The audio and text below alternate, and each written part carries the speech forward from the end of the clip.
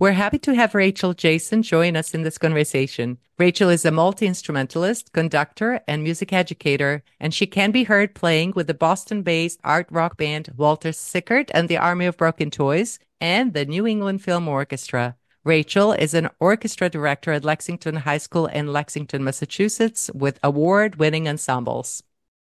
Rachel, really good to have you with us. And we'd just like to hear a little bit about your perspective of working on this piece when you initially pitched Wake Up Little Sparrow and wanted it to be just viola and voices, the world was just so wide open. I'm thinking, oh my goodness, these two people have been making music together for decades. How do I bring myself to this and how do we support this absolutely beautiful song? Mm-hmm.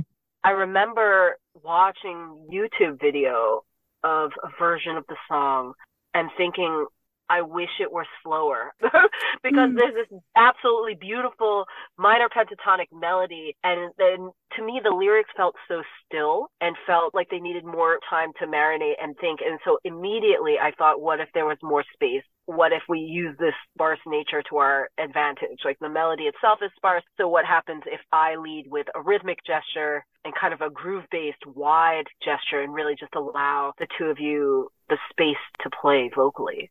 That was so much fun to do because you set it up like that. And Daniela and I, we really loved to just have space and, you know, flow over something. So it was really wonderful that you created that kind of foundation for the piece.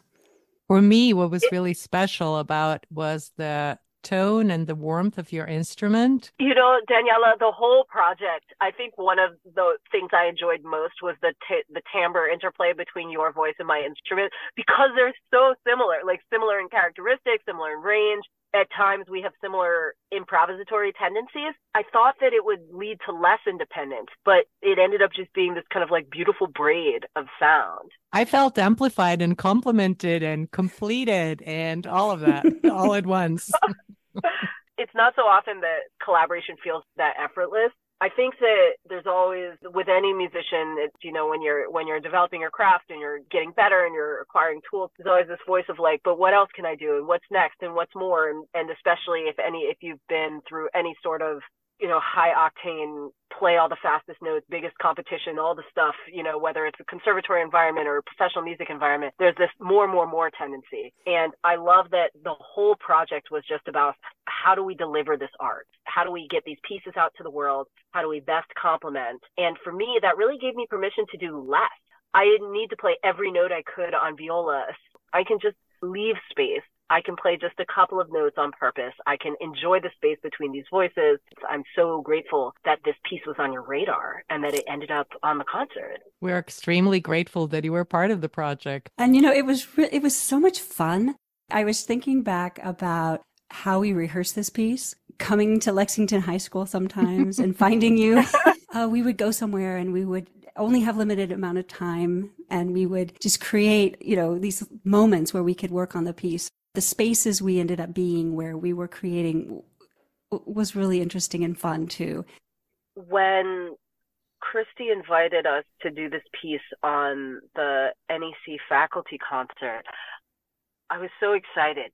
And though I've been in Jordan Hall as a conductor before, I hadn't been there as a violist. And I was absolutely in my own head, sitting backstage in the green room, looking at this enormous probably five foot wide picture of NEC orchestra taken from above or up high in Jordan Hall, looking out at the shot of probably 120 musicians and seeing one black musician. And we're sitting here with just all these incredible NEC faculty coming through the green room, absolutely delightful. And then I'm going out and I'm hearing the sound checks and everybody sounds incredible. And I'm looking at this giant picture and thinking, wow, it really is that lonely. There's one black person in this picture. I'm the mm. one black person that's not from Africa on this concert. And mm-hmm. I wonder how many black people have been on this stage, how many black women have been on this stage, how many queer black women have been on this stage, how many black women have had the privilege of performing another black woman's work on that stage. And the categories get smaller and smaller. And I absolutely put an immense amount of pressure on myself.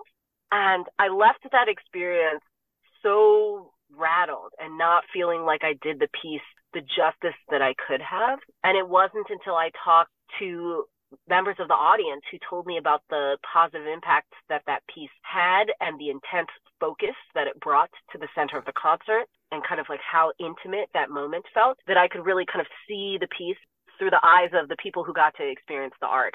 So kind of to see myself as a conduit instead of the experience being about me. So that was a really beautiful kind of circular moment of being like, I wonder if I'll do this justice. And then to just wrap it all around, being able to go into the studio at Berklee and then record our version of that piece was so empowering. Yeah, absolutely.